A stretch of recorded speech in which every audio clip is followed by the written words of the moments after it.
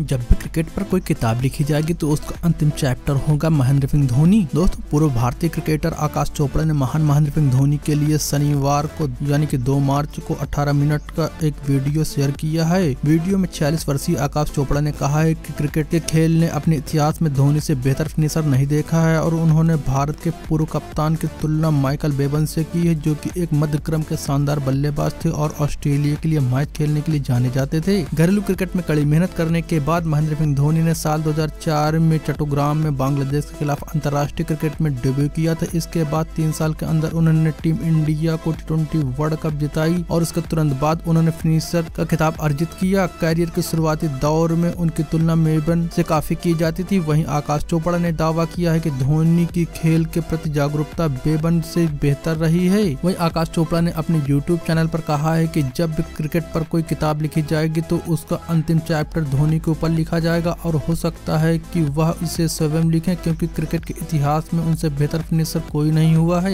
उन्होंने यह भी आगे कहा कि साल 2008 के आसपास एम एस धोनी एक सीमित ओवरों के क्रिकेटर के रूप में विकसित होने लगे जो कि मैच खत्म करने के लिए जाने जाते थे उनकी तुलना माइकल बेबन से होगी माइकल बेबन सर्वश्रेष्ठ में से एक थे बहुत कम लोग उन्हें बेहतर प्रदर्शन किया के लिए जानते हैं माइकल बेबन पिच पर सिंगल और डबल लेने के लिए जाने जाते थे एम एस धोनी की सिंगल डबल लेते थे लेकिन वो चौके छक्के भी लग लगाते थे और अंत में नाबाद रहते थे खेल के प्रति उनकी जागरूकता माइकल बेबन जितनी अच्छी रही है तो दोस्तों आज की जानकारी बस इतना इस खबर के बारे में आप अपने व्यक्तिगत राय में जो कमेंट सेक्शन में लिखे मिलते हैं नेक्स्ट अपडेट के साथ अब तक के लिए जय हिंद